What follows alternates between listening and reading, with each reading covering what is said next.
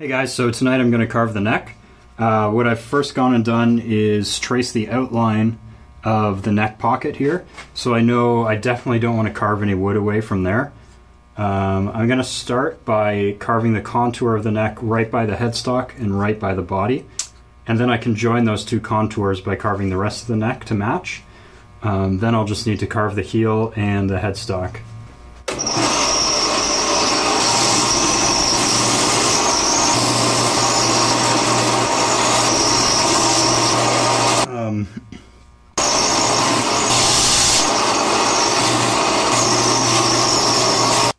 So now that I've carved the two contours here, I'm going to start with a spoke shave and see how that goes.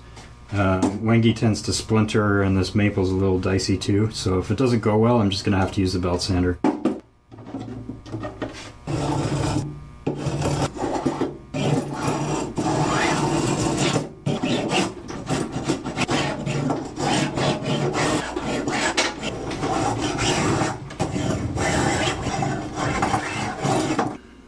that was frustrating. So I'm just going to move ahead with the belt sander.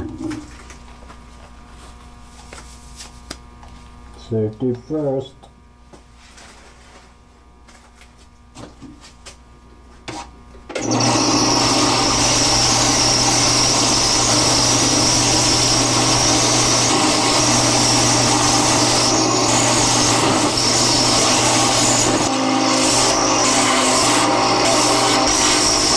Here you can see I have my rough contour end to end, so I'll start working on the transitions at the two ends and then just start smoothing everything out.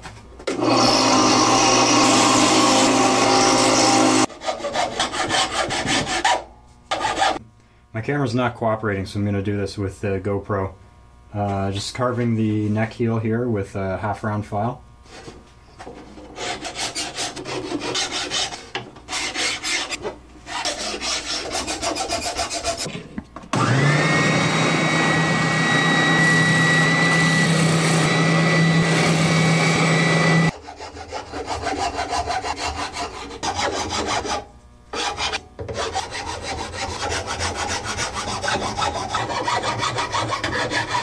So the last thing I need to do before final sanding and finish is uh, just actually fretting this thing.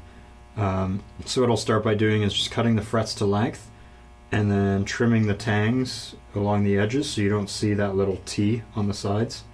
Um, lay them, fill the fill the edges in sand.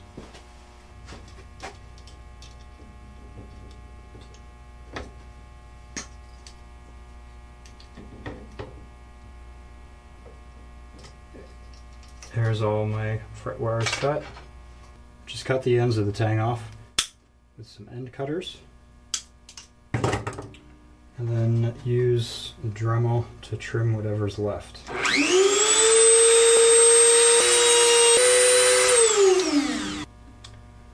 can just hammer these in, making sure the uh, tangs aren't exposed. And using my little hammer.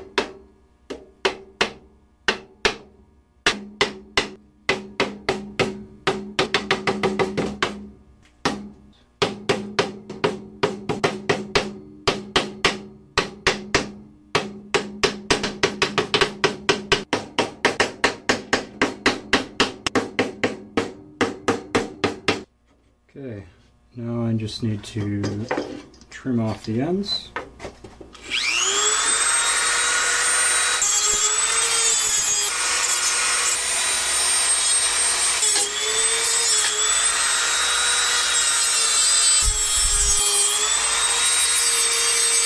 I'm just going to file off any excess on the edge of these frets now.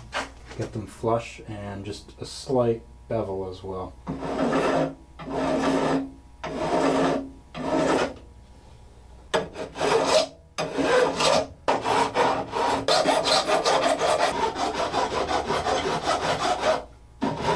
So now that the edges of the frets are aligned with the edge of the neck, uh, I'm just going to fill all those little gaps along the sides. I think the rest of the fretwork is beyond the scope of this uh, video. It's pretty tedious and boring.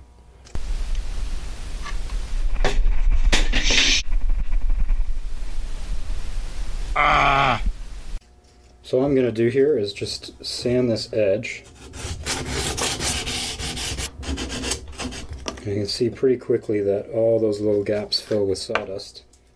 And I'll just put a drop of super glue in there.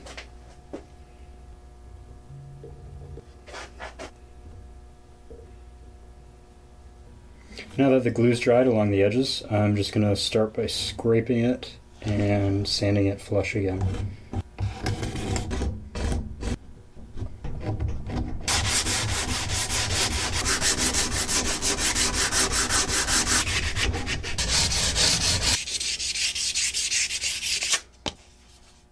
So that's about it. Uh, any darkness here will will kind of disappear once I put an actual finish on it. Um, but at this point, the neck just needs more sanding and then finish and assembly.